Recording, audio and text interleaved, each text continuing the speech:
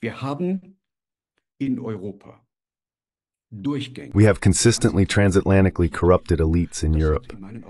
In my view, this has a lot to do with the Second Iraq War in 2003. At that time, Chancellor Gerhard Schroeder, French President Jacques Chirac, and Russian President Vladimir Putin decided not to participate in this illegal war of aggression by the Americans, which resulted in hundreds of thousands of deaths. In Washington, the neoconservative circles in the foreign policy establishment decided that this must not happen again. They wanted to enforce compliance and replaced personnel. Today we see politicians all over Europe who follow this American policy because they have made their careers in transatlantic organizations. Organisationen ihre Karriere gemacht haben.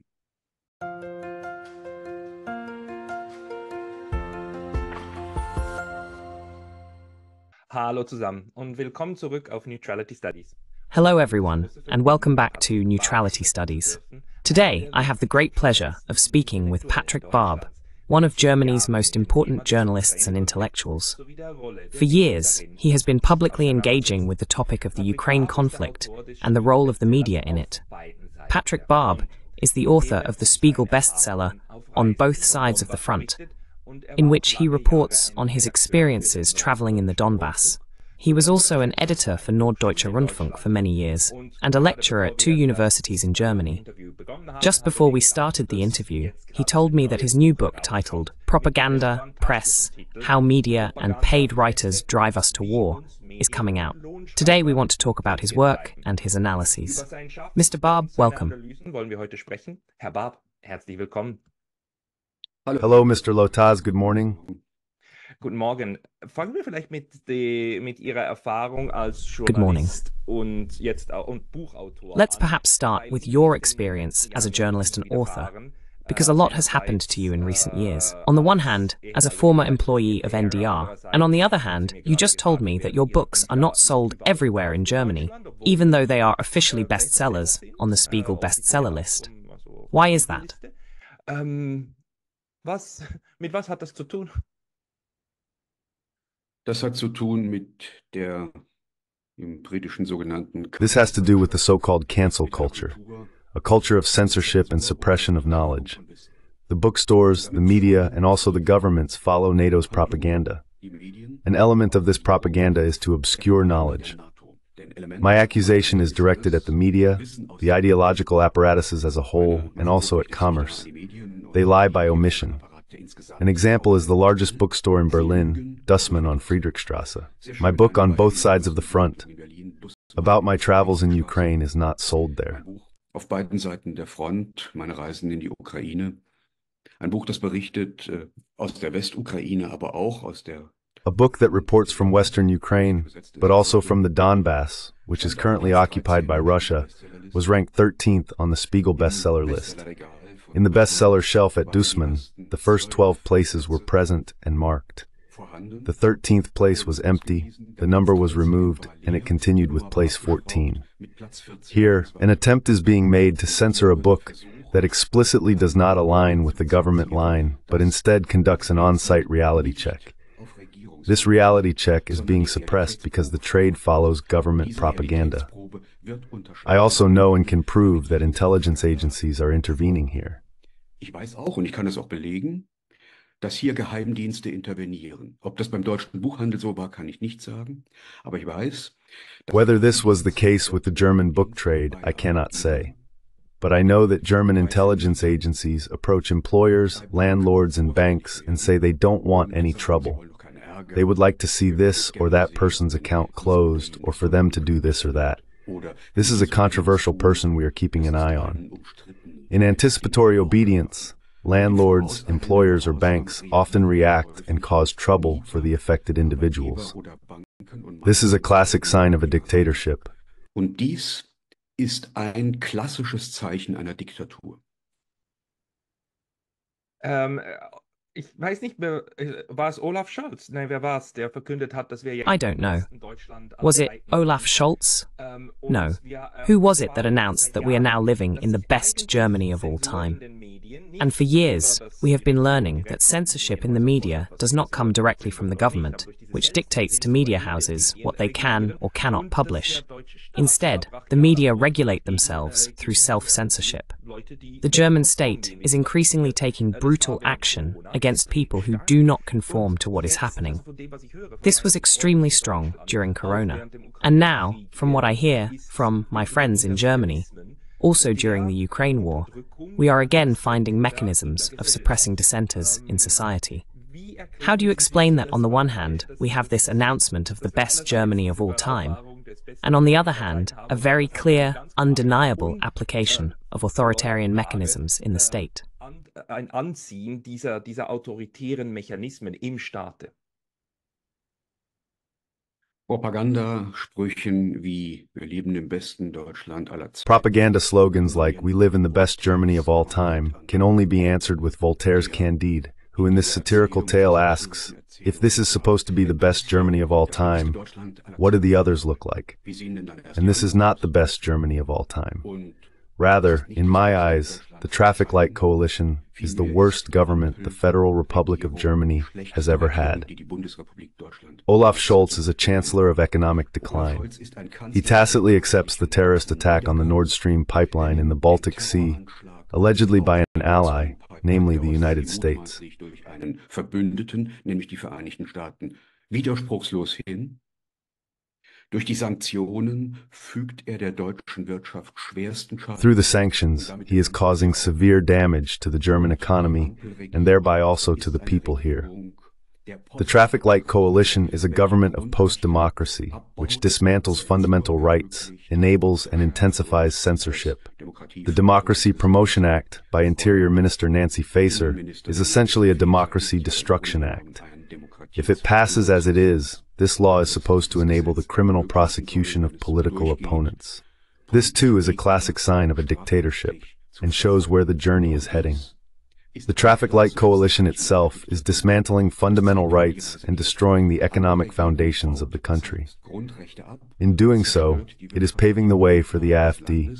Und damit bereitet sie den Boden für die AfD. Tut sie das, tut sie das aus Dummheit? Is she doing this out of stupidity or out of subservience to foreign interests, particularly the USA? How do you explain this decline of Germany? Diesen Niedergang Deutschlands. Wie Goethes Gretchen. Like Goethe's Gretchen, half pulled her, half she sank. This is, of course, compliance with the United States and the directives from Washington. The ruling party cartel aims to enforce a policy of war and social breakdown that targets its own population. But it is also an attempt by an extremely weak government to maintain power. Look at the election results of the SPD and you will see how weak they are. Schauen Sie sich die Wahlergebnisse der SPD an, dann wissen Sie, wie schwach die sind. Die eigentlichen Treiber dieser Enddemokratisierung, das ist vor The real drivers of this de-democratization are primarily the Greens. The Greens are also the party most strongly corrupted by transatlantic influences. If you look at Miss Lang and Miss Baerbock, you see people who may not be directly on Washington's payroll, but who have built their careers with the support of transatlantic organizations. This has consequences. I assume that these people no longer represent the interests of the German population.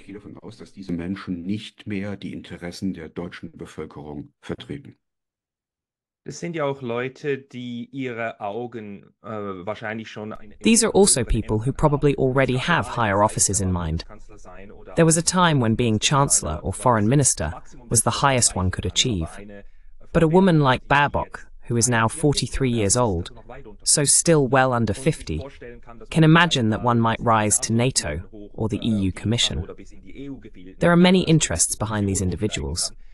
They do not do what is good for Germany, but what they believe is good for the greater whole. Do you also see this as a driving motivation for these people? Sehen Sie das auch so, dass das ein, eine treibende Motivation dieser Leute ist? Naja, das äh, Programm ist Me, Myself and I. Ich, ich, ich. Well, the program is me, myself, and I. Me, me, me. And then there's nothing for a long time.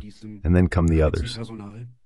What stands out is that with this top personnel, the personal desire for recognition clearly outweighs the abilities. I see this especially in young women like Ms. Baerbock or Ms. Kallas from Estonia, but also in many others. I recently attended a background discussion at the German Council on Foreign Relations. There, the then political director at the Foreign Office and current ambassador of the Federal Republic of Germany to Canada, Sabine Sparwasser, said, We currently do not support proposals from the Global South to end the war in Ukraine. My companion and I looked at each other. Meine Begleiterin und ich, wir schauen uns an. Dann tritt eine weitere Frau aus dem Kreis der deutschen Gesellschaft. Then another woman from the German Council on Foreign Relations, who appeared to be heavily pregnant, steps forward and says, If Putin wants war, he shall have it. I don't know if these ladies think about their children or if they have any idea at all what war means. I have been in three wars. I have an idea of what war means. And now there are people who have made their careers by carrying briefcases for others coming up with such statements. Therefore, my judgment, with this personnel, the desire for recognition surpasses their abilities. And let me tell you something else. When top political personnel remain at the level of child language acquisition, anyone who can speak three German sentences without error seems like a Putin sympathizer. That is the dilemma of today's political discussion. Das ist das Dilemma der politischen Diskussion heute. Herr Baab, das, was mich so unglaublich beängstigt, ist. Mr. Baab, what frightens me so incredibly is that in my conversations with other colleagues in Europe, I keep hearing that people in Europe are currently preparing. I recently heard this from a colleague in Finland. In Finland, the question in the public media is not whether the war is coming, but when. And I keep hearing, the war is coming, the war is coming. In letzter Zeit aus in Europa immer wieder. Und wenn wir uns jetzt schon mental And if we are already mentally preparing ourselves for the war to come, then we should not be surprised when it actually arrives. Of course, we already have war in Europe. The war is in Ukraine, and Ukrainians are bleeding, and Russians are bleeding. The question is whether it will get bigger or not. This constant preparation for more war that we see in the media is horrifying to me. We are in danger of entering a fifth general war within 100 years. Can you explain, perhaps in the German context, where this pro war narrative in the media is coming from at the moment?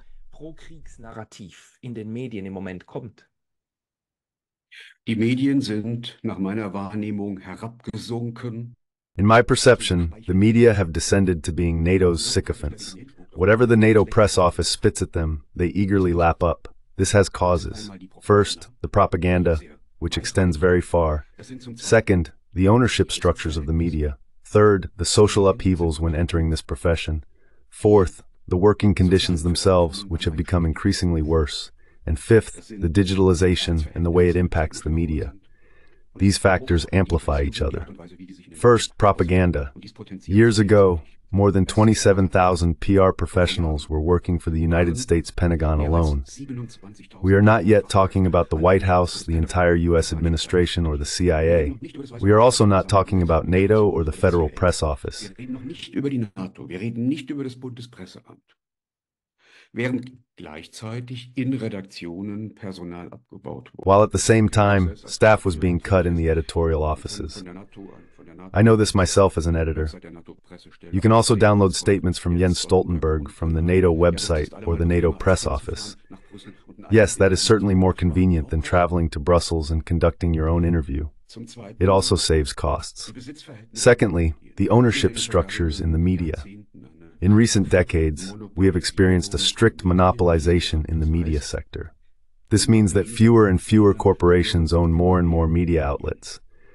The publicist Paul Sethe wrote more than 50 years ago Freedom of the press is the freedom of 200 people in Germany to spread their opinion. And this has become even sharper and harder in the meantime. Dies ist inzwischen noch schärfer und noch härter geworden. Und diese Konzerne, denen die Medien gehören, die haben Interessen. And these corporations that own the media have interests. The corporate executives have interests that are very closely aligned with the interests of the governments. For a very simple reason. The key players meet on the golf course over the weekend. I once tried to make this clear to some ignoramuses at my former broadcaster NDR. The deep state is not when five people meet in disguise at four in the morning in an underground garage. The deep state is the Elbchaussee. These agreements are made in full public view, and then it is passed on through official channels the next morning. Thirdly, I spoke of social deformations that occur when entering journalism. I still remember this from my own biography. In den Journalismus einzusteigen. Ich weiß das noch aus der eigenen Biografie. Dazu bedarf es einer ganzen Reihe von Praktika, Internships in Redaktion. This requires a whole series of internships. Internships in editorial offices, which are often not paid at all. Usually, only children from affluent, upper middle class backgrounds can afford this. And this leads to social selection. These are predominantly people for whom unemployment, housing shortages, and financial constraints are biographically foreign. And that's why these issues also recede in reporting later on, because they simply do not play a role in the biographies of the decision makers. But these decision makers who come from the upper middle class often hope to inherit their parents' stock funds. And if a stock fund is well diversified, it also includes defense stocks. So they indirectly benefit from this war in Ukraine. Also profitieren sie indirekt von diesem Krieg in der Ukraine. Das sagen sie aber nicht, sondern sie sagen, wir müssen. They don't say that. Instead, they say we have to help the poor Ukrainians against the evil Putin. And that is hypocritical. Fourth, the working conditions in the media. Look, I was a freelancer for 15 years. As a freelancer, you offer your boss a topic three times in a row that he doesn't want. Well, you always have to think about it. It doesn't fit into the program today, or it doesn't fit into the paper today. Well, you have to be very careful. By the fourth time, you get it. Then you will offer your boss a topic that you think he will take. For a very simple reason. You get paid by the broadcast minutes or by the lines, and at the end of the month, you have to pay your rent. Und am Monatsende müssen sie ihre Miete überweisen. Und so übernehmen sie die Denkweise und Bewertung. And so, as a young freelance employee, you adopt the mindset and evaluation criteria of your superiors, the decision makers. It's like a brain implant. And that is exactly what anticipatory obedience is. You end up thinking like them. You don't even notice it anymore. And that's why these people no longer notice their gradual adaptation. The American writer Upton Sinclair wrote many, many years ago, It is difficult to get a man to understand something when his salary depends upon his not understanding it. And that is correct. That's true. And now comes digitalization. Media consumption today is largely consumption via smartphones. I experience that myself as well. Das erlebe ich ja bei mir selbst auch. Man steht in der U-Bahn hier in Berlin You stand in the subway here in Berlin, everything is shaking, and you get jostled. In the morning, it's crowded, and you look at the news on your smartphone and read it. That means it's no longer something you fully concentrate on. Accordingly, the perception times during reception become shorter. With short perception times, it's no longer about substantive depth, context, and background, but about the immediate emotional perception impulse. One could pointedly say that information is being replaced by the mobilization and monetization of resentments. The binding of emotions creates attention and click numbers. This is how the media work today. funktionieren die Medien heute. Also Information wird ersetzt durch die Mobilisierung. So information is being replaced by the mobilization and monetization of resentments. It's no longer about research. It's about personalizing, scandalizing, and dramatizing, and denouncing, because denunciation is easy to understand. But the background of this Ukraine war is very complicated and goes far back into history. One has to think about it. And that no longer happens. All these factors together lead to a post-factual dissemination of information. It's no longer about information and factual accuracy, but about stimulating and emotionally arousing the perceiver, the reader, the viewer. Wahrnehmer, den Leser, den Zuschauer zu stimulieren, emotional zu erregen. Ich gebe Ihnen absolut recht. Ich versuche mir immer einfach noch zu erklären. I absolutely agree with you. I am still trying to understand how it can be that many people do not perceive this as such a process.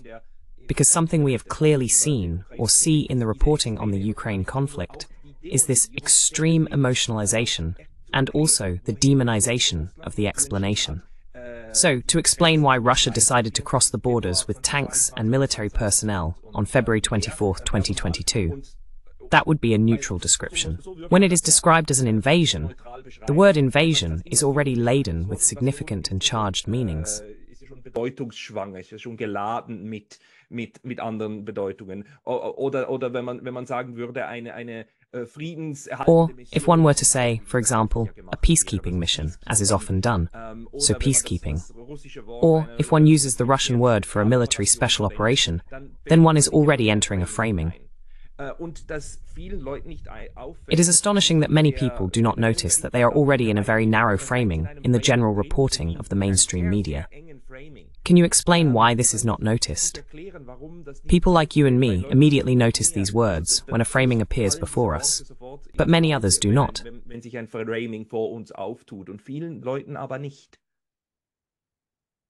Ich möchte insbesondere die Menschen in Deutschland bitten, I would like to especially ask the people in Germany to think about a quote from Frederick the Great.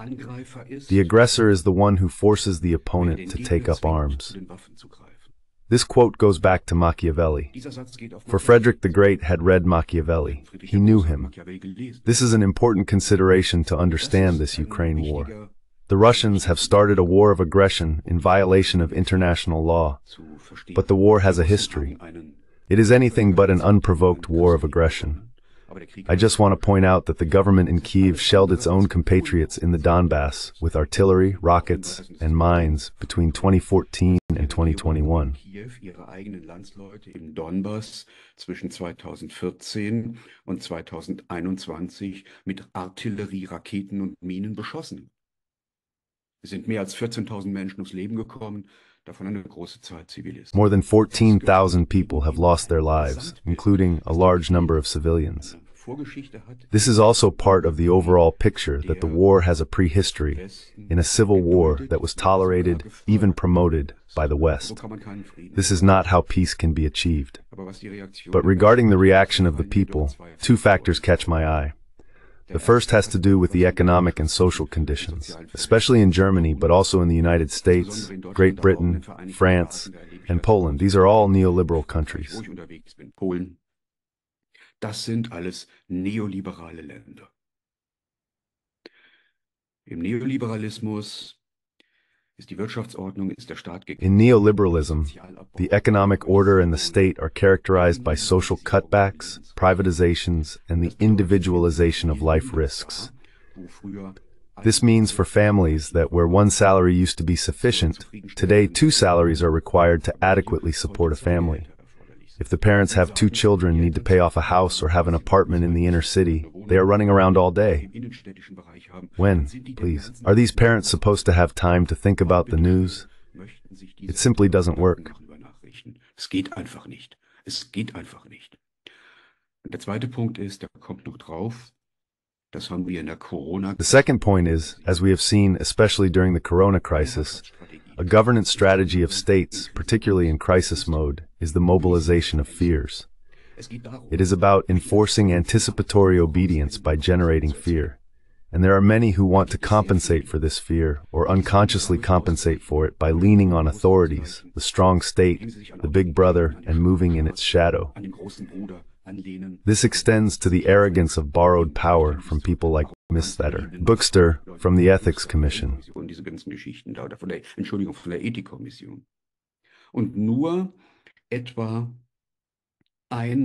And only about a third of the population here is directly resilient. In Germany, these are primarily the people in the eastern part of the country. Because the older generation experienced these state repression mechanisms and the generation of fear during the times of the GDR. Many people here in the eastern part of Berlin, in Saxony, Thuringia, Saxony-Anhalt, and Mecklenburg-Western Pomerania tell me, we've been through all this before, we won't fall for it again. But especially the people in West Germany who grew up in a higher level of prosperity and in a more democratic state, have not learned this resilience and this insight in their lives. Gelernt in ihrem Leben. Und sie fallen auf diese Unterdrückungsmechanismen rein. and they fall for these mechanisms of oppression. On the one hand, people are driven by economic circumstances. It is all very difficult. Germany is losing its level of prosperity. One must be clear about that. Meanwhile, Russia is gaining in family prosperity, albeit still at a modest level. On the other hand, people themselves contribute to their own oppression by believing that they can cope with their fears by leaning on the stronger. This is the question Spinoza asked, why do you long for your oppression as if it were your salvation? And this question is valid.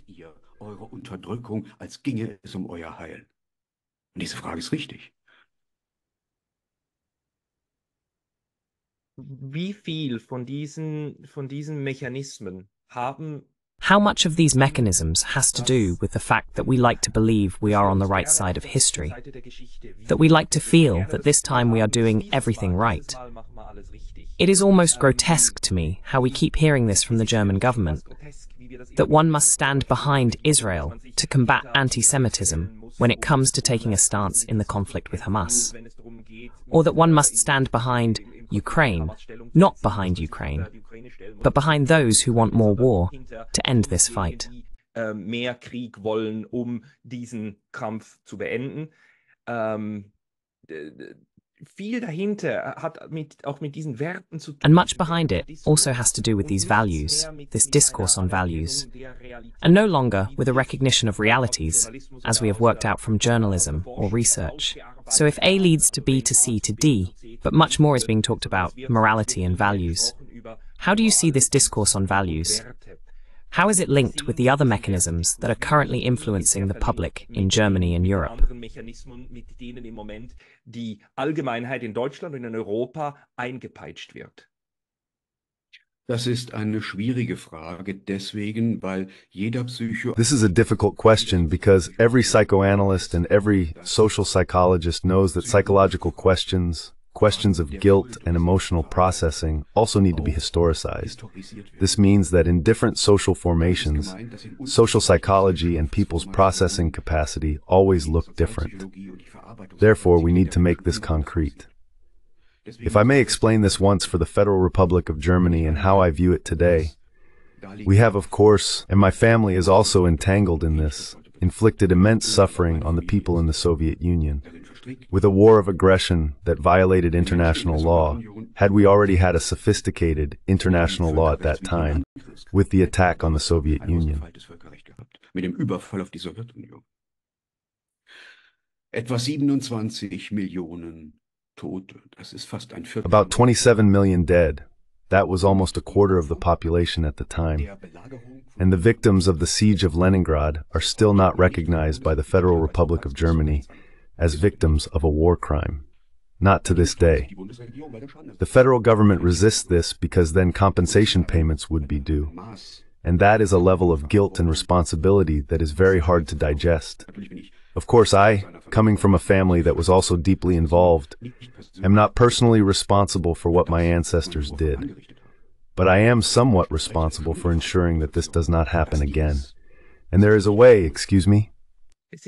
Und es gibt eine Art, verzeihen Sie? That's exactly the question. Ja, ähm, und es gibt eine Art, diese Schuld Yes, and there is a way to shift this guilt away from oneself by saying, I am finally on the side of the good. Then, so to speak, I can take this mountain of guilt off my shoulders, breathe again, and point fingers at others. And this process occurs when someone like Ms. Baerbock stands up and says, I am here in Frankfurt in the auditorium, and my grandfather already stood here. I am standing on the shoulders of my grandfather, who fought against the Russians back then. The historical truth is being destroyed. The actual history is being turned upside down. Why is it being turned upside down? Because it benefits the self-importance of a person living today and their American whisperers. Und so wird versucht, neue Narrative zu bauen zur Kompensation. And so attempts are made to build new narratives to compensate for guilt. Let me say one more thing. Many German families had victims in the Battle of Stalingrad. This also triggers a subliminal anger, because someone perished miserably at the front, starved, or froze to death. Often there are no clues at all about what happened to the great-grandfathers. There is already a subliminal anger present, which has been kept in check by the guilt complex and responsibility. Perhaps there is an unconscious longing to be able to release the anger over this loss again. And I believe that is where we are today. über diesen Verlust wieder rauslassen zu können. Und ich glaube, da sind wir heute. Kann es das sein, Ganze, ja, kann es sein dass, wir, dass wir gedacht haben, dass Is it possible that we thought we had processed the Second World War? in Europa, dass That we in Western Europe believed that it was finally consigned to history? I think the Russians still perceive this war very differently, but we in the West thought it was over. And we didn't realize that we never really processed it, that we never truly dealt with what happened during the war. Perhaps also because the question of guilt towards our own citizens, the Jews in Germany and Europe, is so immense. That overshadowed so much that we completely forgot that we also did terrible things to many other nations. And I say we because my great granduncle on my mother's side also died on the Eastern Front as a Nazi in the SS. Did we never process that? Ähm, das sind, das haben wir das nie verarbeitet. einer meiner besten Freunde, Professor Robert. One of my best friends, Professor Robert E. Harkavy, with whom I wrote a book, is an American Jew. And one of my best friends here in Berlin is Jewish. This does not lessen the suffering of the Jewish people. When a German says that everything was much worse because we did not only kill Jews but also many others, it is a reduction of guilt and responsibility. In official memorial events, it is often pretended that we only killed Jews. That is bad enough, but there were also many others. Als hätten wir nur Juden getötet. Das ist schlimm genug. Aber es waren noch viele andere. Es waren auch Polen. Es waren noch Polen. Möchte Ihnen eine Geschichte. There were also Poles. gebe Ihnen hundertprozentig zu. I would like to tell you a story. I agree with you 100%. The city of Warsaw has a wonderful Jewish museum, a great museum, much better than the one in Berlin. It says much more about Jewish history. Very excellently done. Mein polnischer Freund. My Polish friend Przemek did not want to go in when I wanted to visit the museum. wollte nicht mit rein. I asked him, Yes, Przemek, why don't you want to go in? It's interesting. He said, We Poles have also suffered. This brings about something like a competition of victims. And that is very unfortunate. Konkurrenz der Opfer. Und das ist ganz unglücklich. Man muss, finde ich. I believe one must acknowledge the suffering of others, even if one has suffered oneself. And it is important to me that we do not overlook this. The responsibility lies in ensuring that these things do not happen again. Therefore, I say clearly and unequivocally, it is not anti-Semitism to criticize the Netanyahu government for what it is doing in Gaza. That is not anti-Semitism. That is a recognition of political realities.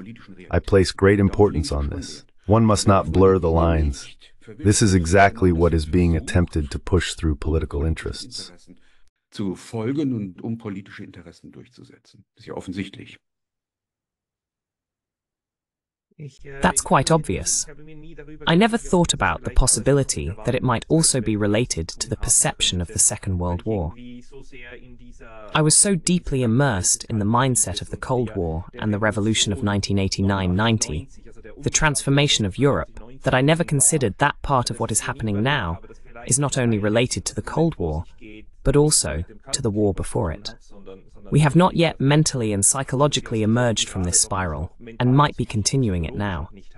In your travels to Ukraine and Russia, how significant is the Second World War in Russia and Ukraine in the perception of current events?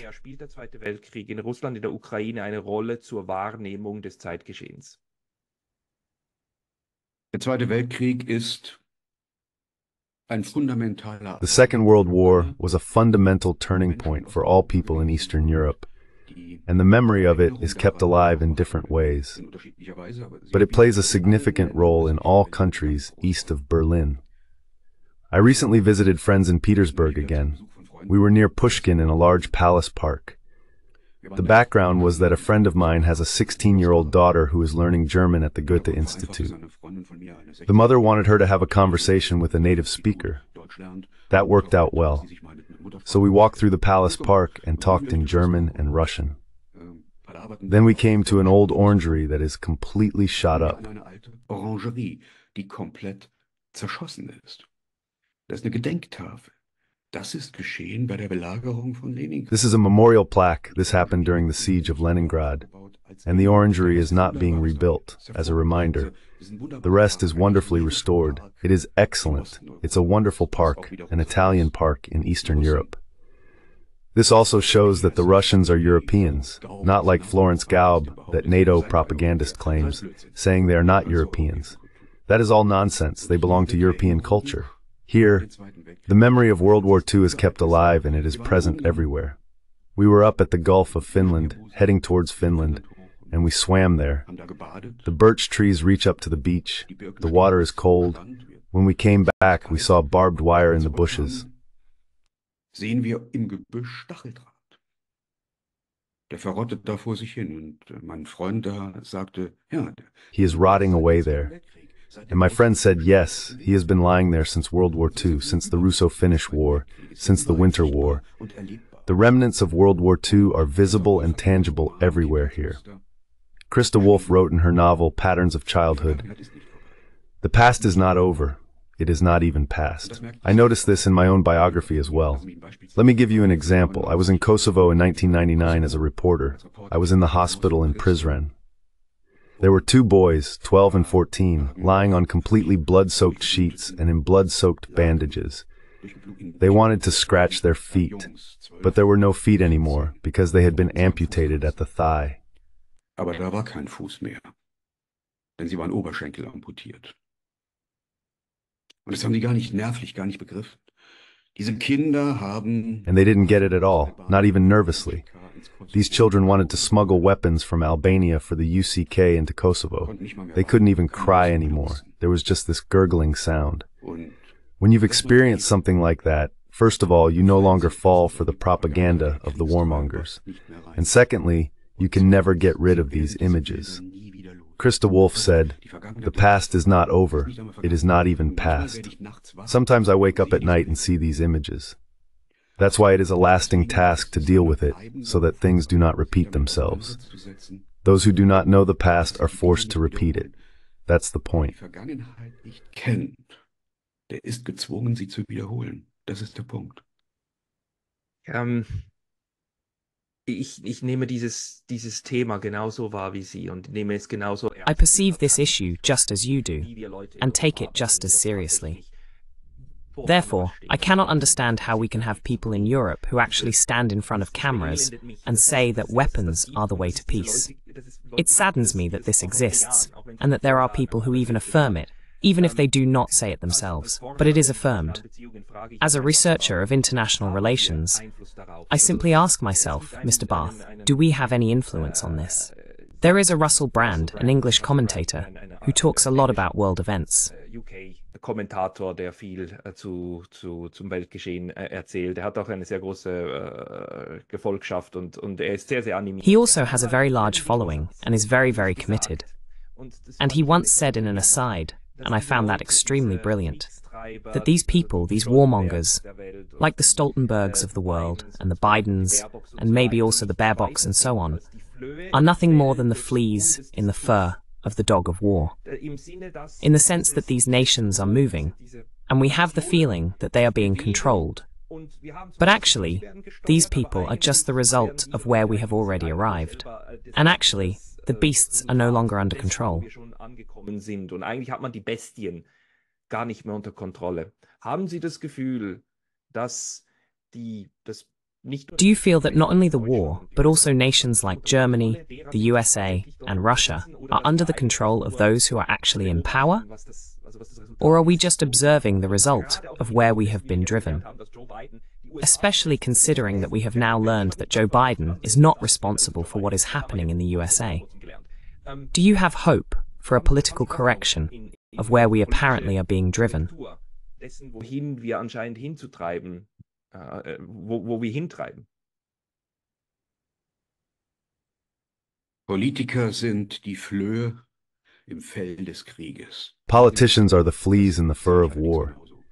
We must mention the source here. I see it the same way. Shakespeare writes in the tragedy of King Lear, "'Tis the time's plague when madmen lead the blind. That is the curse of the times, when madmen lead the blind. Shakespeare recognized it, and we are in that stage. Let's stay on the level of the madmen. We have a still serving president in the United States, about whom one can have justified doubts regarding his mental health. We will soon have as the EU's foreign representative a Ms. Kallas from Estonia, who can be described without exaggeration as a fanatic.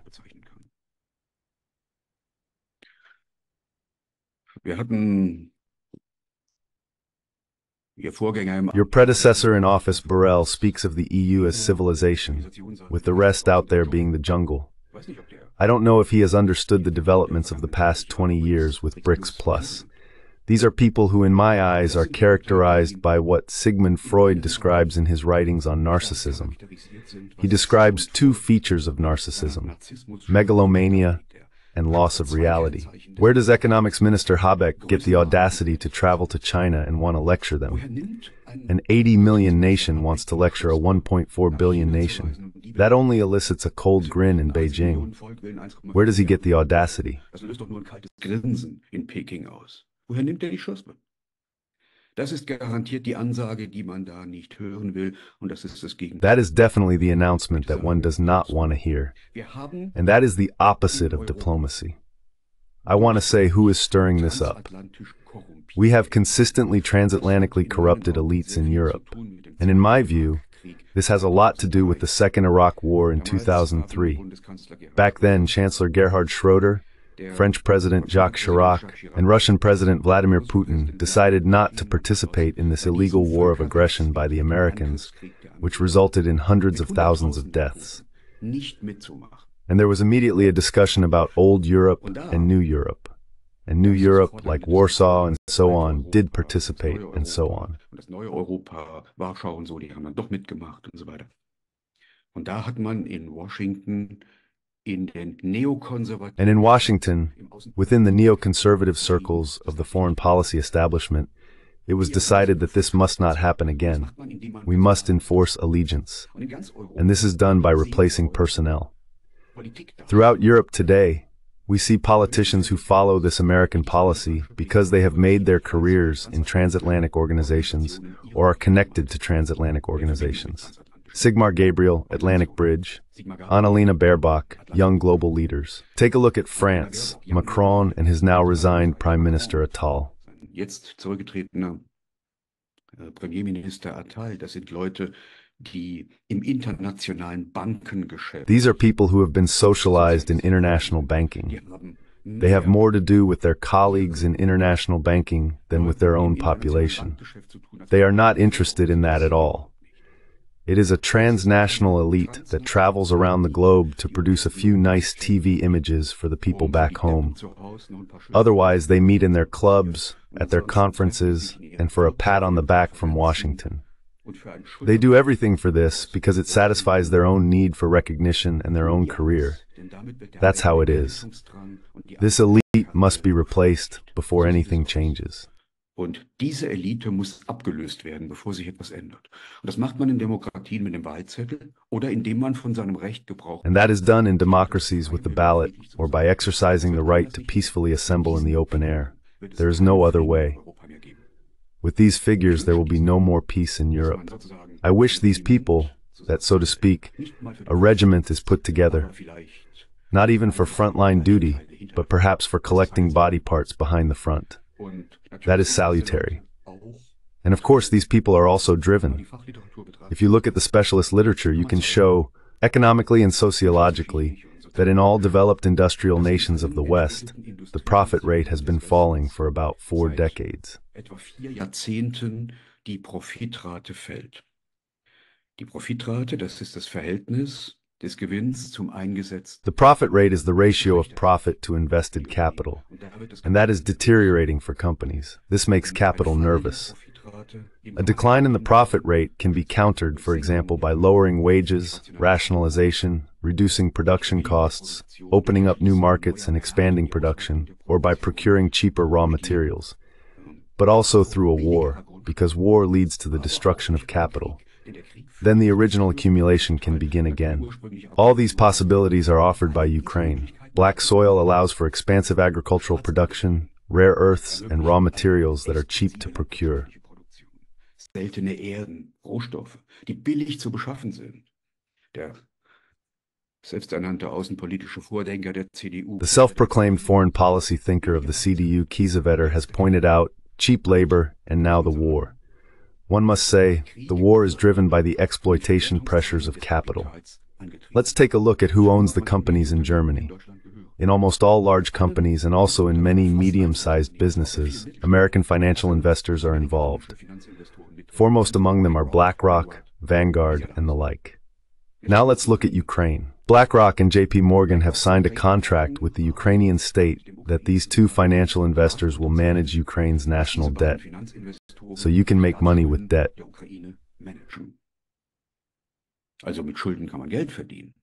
Vor allem, wenn man weiß, dass nachher die Belastungen alle Above all, when you know that afterwards all the burdens are shifted onto the European Union and its taxpayers.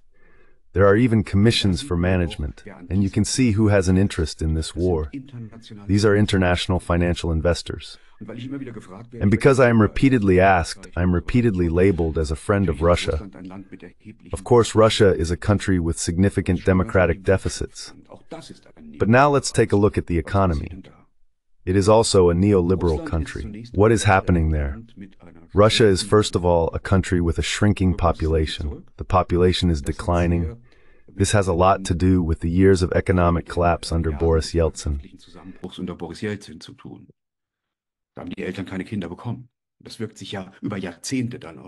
The parents did not have children. This has an impact over decades. Russia is a country with significant disparities, large differences between urban and rural areas. The country is enormous. The infrastructure needs to be renewed. You can travel very quickly by Intercity Express from St. Petersburg to Moscow in a few hours. But try going to Kazan, those are completely different distances. There's a very significant need for development. There is a backlog in the area of digitalization. The cities are exploding. In St. Petersburg, there is a land reclamation project on Vasilyevsky Island. Äh, da gibt es ein Projekt der Neulandgewinnung auf dem Wasiljewski Island. Da werden mal auf einen Schlag 50.000 Wohnungen. 50,000 apartments are being built at once. One would like to see that in Berlin. 50,000 apartments. But it's not enough because the city is exploding. So there is a significant need for development. This means that the Russian economy and the Russian government are primarily focused on internal development. Russia is also a resource autonomous country. They don't need Ukraine the way the West needs Ukraine for its resources. Russia has a stable resource base. This means that Russia today is not an expansive empire. The war in Ukraine is, in my view, a preventive war against NATO's eastward expansion. Gegen das Vordringen der NATO nach Westen. Also und der Zusammenhang mit dem Kapitalismus ist der, dass der So, the connection with capitalism is that capitalism in the West is driving the war in Ukraine to increase profit margins. In Russia, on the other hand, the profit of capital is actually achieved through domestic äh, consumption and domestic äh, development. Äh, also, Genau. Was ist, was ist das Wort, was ich suche? Binnen, binnen, ähm, Binnenwirtschaftliche Entwicklung und Binnenkonsum. Domestic economic development and domestic consumption. That is completely clear. There is still enough need for action, and there is absolutely no reason to expand here or to subjugate foreign nations, to attack them. However, there is a geostrategic reason. The Russians naturally want to keep the military base, the naval base in Crimea under control. That is, of course, clear. That is something different. But the economic development, that is what we are focusing on. Capitalism drives such wars. Des Kapitalismus treibt solche Kriege an. Ja, aber der Kapitalismus in, in Yes, but you say that capitalism in Russia is not actually driving this war, but would rather promote internal development. So capitalism is more important as an explanatory basis for NATO's actions in the conflict. Aktionen gegenüber Exactly, and also for the role of Russia. One must, of course, analyze Russian capitalism to understand what is happening there, because the economic factors are ultimately the decisive factors. The need for internal development is so great that the war in Ukraine hinders economic development. This is also confirmed to me by political scientists in Russia, by the way.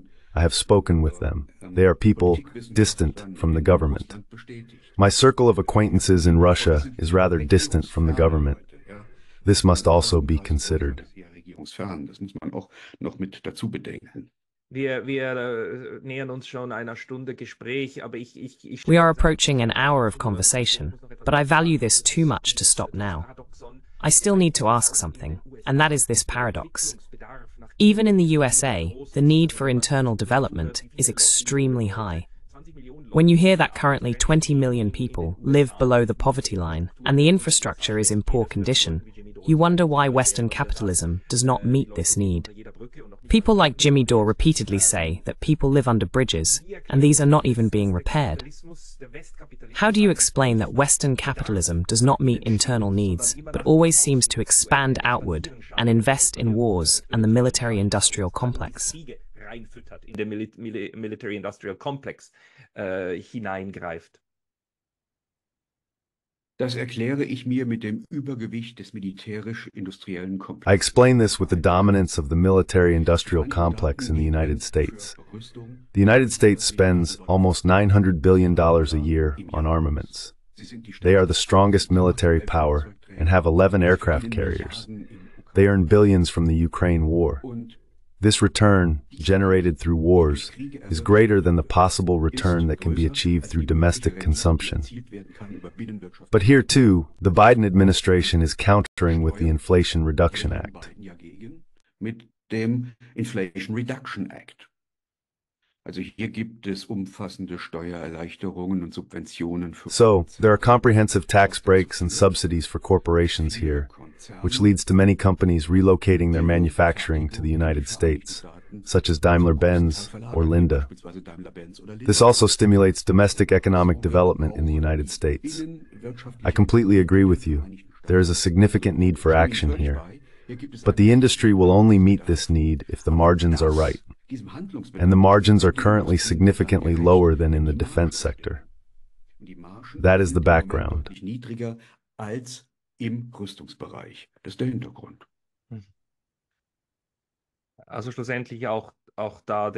So ultimately, capitalism is also a driving force behind what is happening here. In Russia, the arms industry is much more under political control, as far as I can judge from a distance.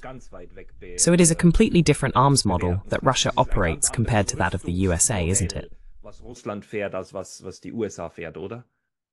Nein, nicht ganz. Auch die Russen waren zumindest bis vor dem Krieg. No, not quite. The Russians were also, at least before the war, arms exporters and made money in the arms sector.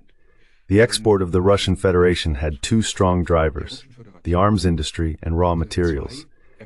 They rested on these laurels, which led to the manufacturing industry, such as automobile production, not reaching the level in their own country that would have been possible. This is now proving to be a disadvantage. Russian economists and political scientists confirm that the developmental deficits are not being caught up and that the war is making it more difficult.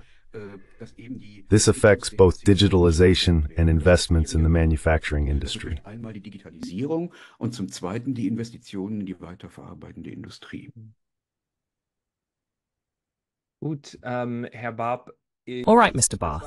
That was a very insightful and extensive conversation.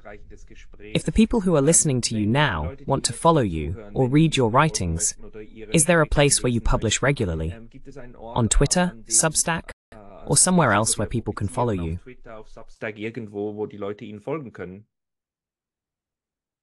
Neues von mir gibt es auf meiner Seite Patrik Baab. You can find updates from me on my website patrikbaab.de.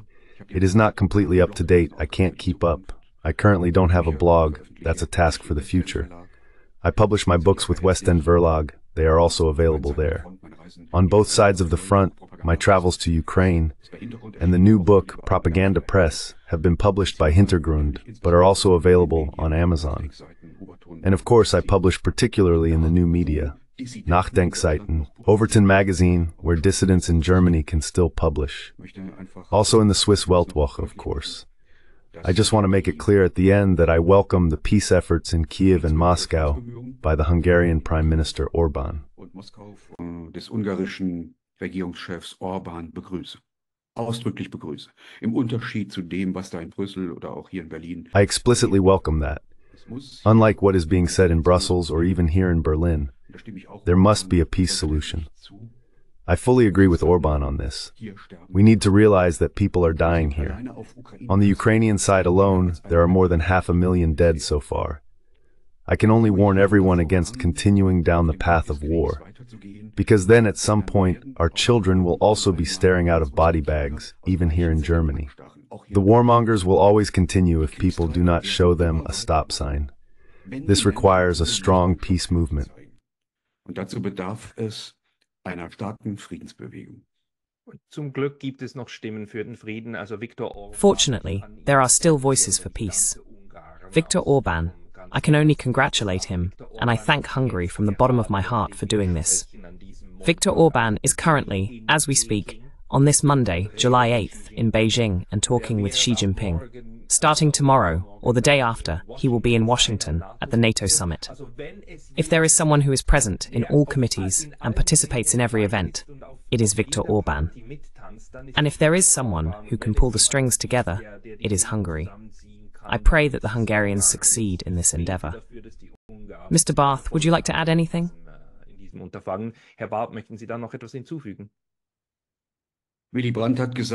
Willy Brandt said, Peace is not everything, but without peace, everything is nothing. And therefore, my allies are all those who are committed to ending the war.